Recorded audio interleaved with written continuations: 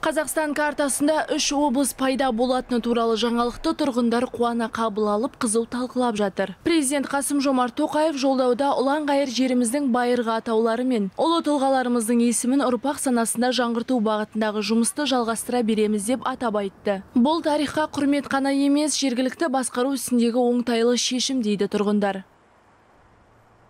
бұл жалпы семей жұрт үшін абай ел үшін жалпы алаш жұрт үшін үлкен қуаныш. Өйткені бұл өте уақытылы қабылданған шешім.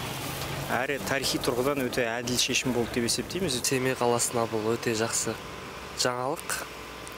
Семей қаласының дамуына бір ә, жақсы ықпалын тигізеді деген ойдамын. Екіге бөлінудің де орайы келіп тұрған секілді себебі алматы облысы бүткіл республика көлеміндегі ең үлкен облыстардың бірі жан саны жағынан да бұдар енді елдің жаңадан бір жаңғыруының алғы шарты лебі деп есептеймін өз басым. Қапшағай қаласына қонаев атамыздың есімін беру ұсынысы бұл да құптарлық іс шынымен де көзінің тірісінде қазақстанның тамырына қан жүгірткен тұлғамыз ғой. Жеке дара облыс болса жеке дара дамиды.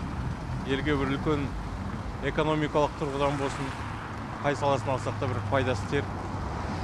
Дамуға жол ашады деп ойлаймын. Бұл идеологиялық тұрғыдан дұрыс деп ойлаймын. Ә, бұл идеология жағынан өйткені біз ұлт ұясы ұлытау дейміз тағысын тағы дейміз.